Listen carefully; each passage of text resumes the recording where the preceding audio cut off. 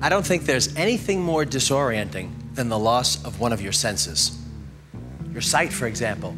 If you lost your sight, you would get very disoriented very quickly. Let me show you what I'm talking about. You just take that? Give it a far toss. That was you. Could you please pick that up? Take it, toss it one more time. That's you, sir? Were you born in the continental United States? Good, stand up.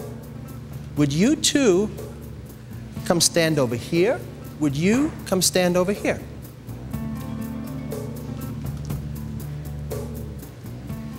You right here, and you, sir, right here. I want both of you to check out these blindfolds. Make sure you can't see through them. They're completely opaque.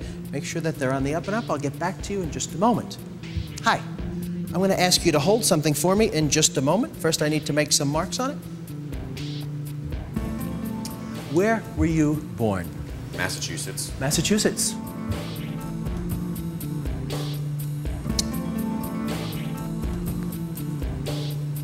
Where were you born? Pennsylvania. Pennsylvania.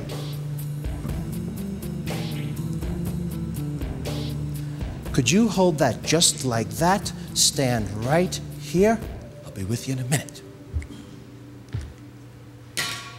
You first. Come stand over here. Turn around, face the map.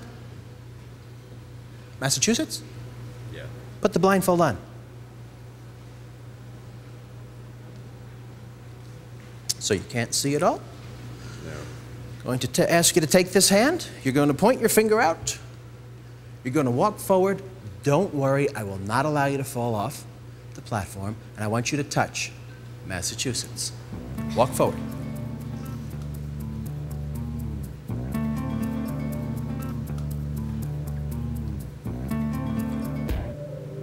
Take the blindfold off. What's it look like to you? Iowa.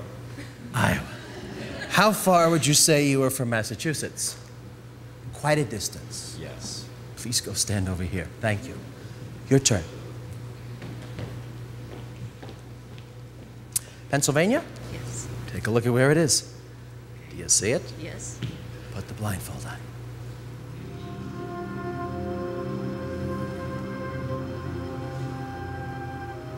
You're going to take your finger, point it. You're going for Pennsylvania. I won't let you fall.